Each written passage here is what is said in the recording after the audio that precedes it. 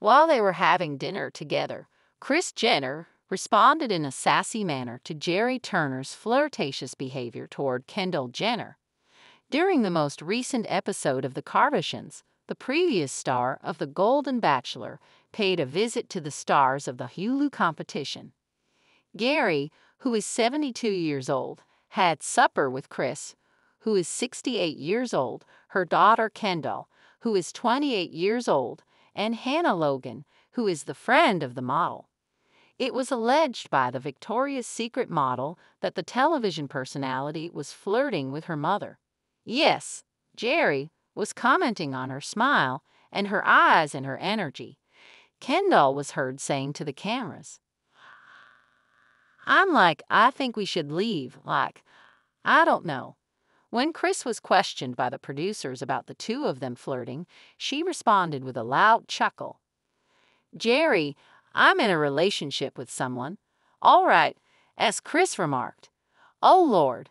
Corey Gamble, who is 43 years old, is presently related to Kris. I observed things. During the time when Gerry and Kris were having a substantive conversation about hearing aids, Kendall shouted about the fact that she got a sneak look at his mobile. In her confessional, she gushed, something I've been keeping to myself, and it's really hard, and she kept it to herself. I saw things I shouldn't have seen. I was able to see his phone. I am aware of the victor. She gushed, Kendall. The assertion was made by Kris' daughter that she saw Gerry phoning the same individual around five times.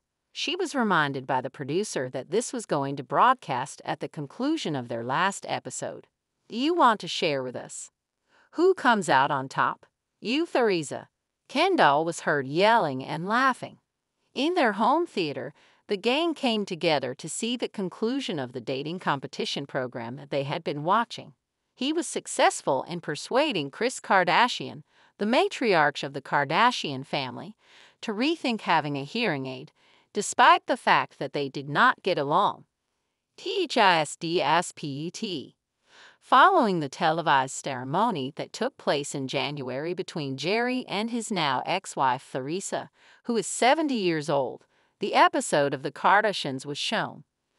Theresa and Gerry made the announcement that they were going to divorce around three months after they had just tied the wedding. During an appearance on Good Morning America in April, the former couple disclosed that they were ending their relationship. Theresa and I have had a number of heart to heart conversations, and we've looked closely at our living situation, Gerry said in response. We've come to the decision mutually that it's probably time for us to dissolve our marriage. The exes both indicated that they would keep looking for love even if they are experiencing a lot of grief.